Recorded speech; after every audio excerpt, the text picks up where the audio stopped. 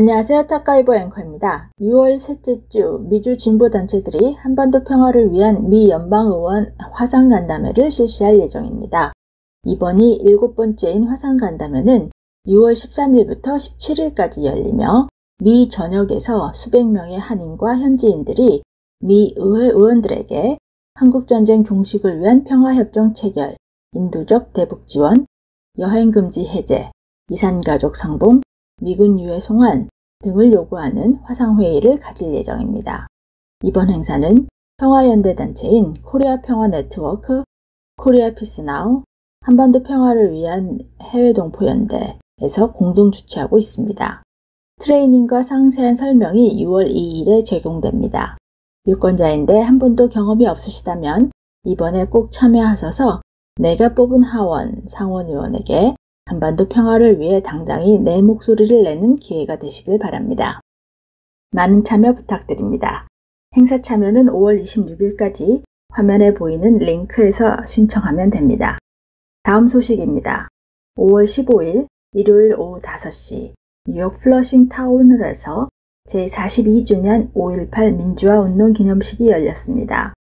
미주 5.18 민주화 운동 기념사업회에서 주최한 이 행사는 국민 의례를 시작으로 5.18 민주화운동 희생 영령에 대한 묵념, 추모시, 추도사, 헌화, 임을 위한 행진곡 제창이 이어졌습니다.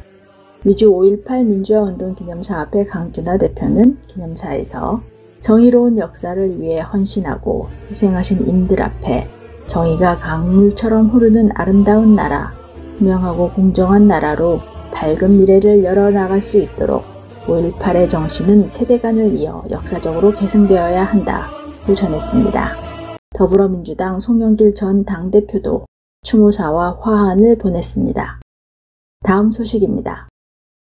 해외 진보 학자들과 함께하는 한미 정상회담 관련 줌 웨비나가 미동부 시간으로 5월 23일 저녁 8시에 열립니다.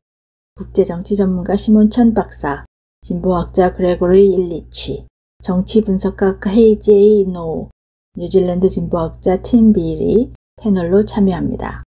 영어로 진행되며 참가자들이 질문하는 시간도 가질 예정입니다. 질문은 영어 또는 한국어 둘 다 가능합니다. 웨비나 등록은 화면에 보이는 화면에서 하실 수 있으며 참고로 이 웨비나는 JNCTV 유튜브로 라이브 중계될 예정입니다. 많은 참여 부탁드립니다.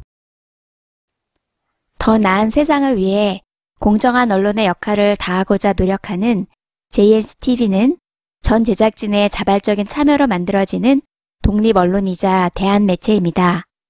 방송이 마음에 드셨다면 응원의 표시로 지금 좋아요, 구독 버튼을 눌러주세요. 감사합니다.